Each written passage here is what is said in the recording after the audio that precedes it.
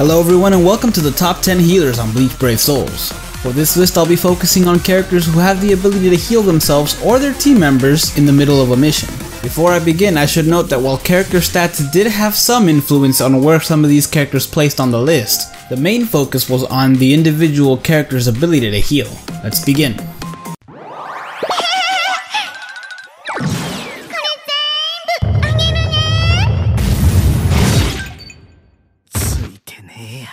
Starting off the list, we have Yachiru Valentine's Day Edition. This character is actually one of the few original seasonal characters who's still useful in a raid. Her stats may not be that impressive, but she is a ranged character, not to mention a team healer. Unfortunately, she doesn't get the ability to be a team healer until she gets 6 star and you unlock Medic. That said, her soul trait really isn't all that rare. But being honest, the only reason she's really on this list is because she's ranged and healing.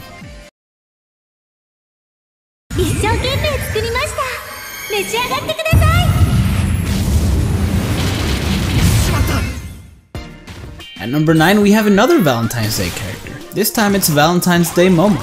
Now if the description for this character sounds familiar, it's because it is. Like Yachiru, she came out on the same gacha. She's also ranged. They have very similar stats although hers are slightly better. And she's also team healer but again, only at 6 star, as she unlocks medic as one of her abilities. Overall, she's just a slightly better version of Yachiru. Her stats are better, and her soul trait is more useful. 俺からのお返しだお前に断る権利はない Up next we have Ulquiorra White Day version. Now this character is a bit unique because he's the only one on this list who is not a team healer. But since this list is a list of healers and he is technically a healer, I just had to put him on here. PvP is still a big part of this game, and while we don't see him often because there's so many characters, this Ulquiorra is actually very good in PvP. His stats are great and his link lets you stack damage reduction. Combine that with the fact that he's a healer and you've got a pretty good tank on your hands. This combination also makes him really good in PvE. Really the only reason he didn't make it so much higher on this list is because he's not a team healer.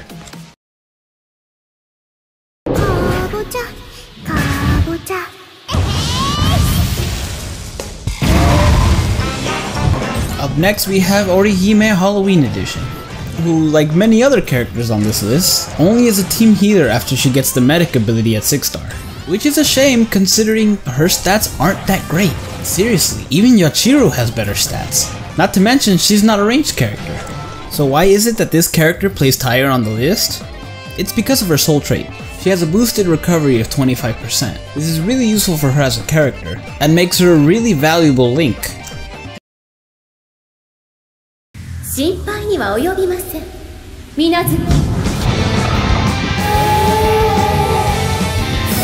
At number 6 we have the original Tekretsu, who is one of very few original characters who is actually still relevant in the game. Because there were so few characters, I feel KLab felt the necessity to boost her stats when they made her 6 star. They also gave her a medic ability at 6 star, which this character really needed considering she's a self healer up until she gets medic.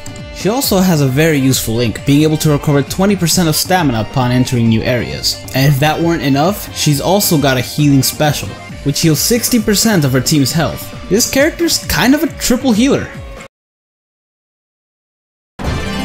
私の優雅な舞をお見せしましょう吸ってください Up next, we have the original Lifesaver, the now Paracel edition.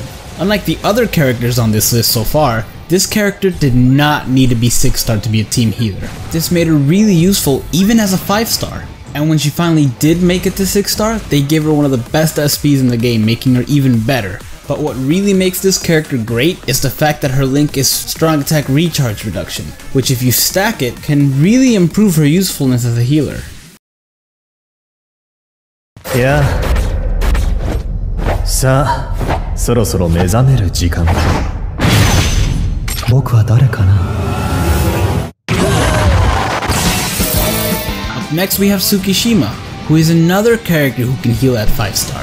And while he may not be ranged, he does have one of the highest SPs in the game, which is not wasted on this character at all, considering he was the first one to be able to do damage with his healing move. And with a decent build, you can actually get upward to 10,000 damage on his healing move. That shouldn't be a thing. 仰せのままにふっいかがでしょう At number 3, we have a character who keeps popping up on these lists for some reason. She, like many other characters on this list, also gets the ability of Medic when she hits 6 star, and she's one of the newer characters which means her healing move also does damage. To top it off, she's also got a healing soul trait, which lets her or anybody she's equipped to heal 20% of their health upon entering a new area. Also guys, she's got an inflatable shark. That counts for so much.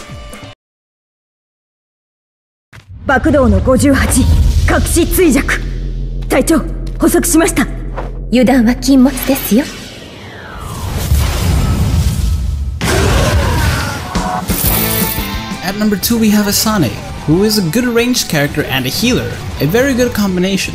And like Tsukishima and Nemu, she's also got a healing move that does damage. She also has the ability to make me sound like a broken record, because she also gets medic at 6 star.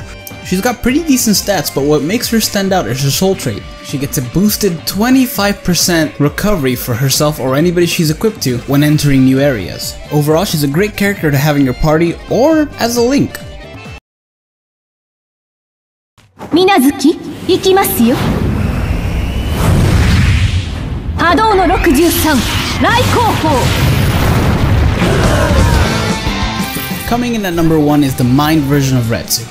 She's got really good, well-balanced stats, as well as really good strong attacks, one of which is a healing move that does damage. But what really makes her the number one character on this list is her recharge time reduction soul trait. While having a healing soul trait is nice, this soul trait is the best soul trait a healer can have. And if you stack it high enough on this character, you can cut the waiting time for healing over half, letting you be able to both heal and do damage every 15 seconds or so with that strong attack too. KLab really did a good job remaking this character. Thank you guys so much for watching. If you enjoyed this list, please leave a like and subscribe to the channel, and let me know what top 10 video you'd like to see next.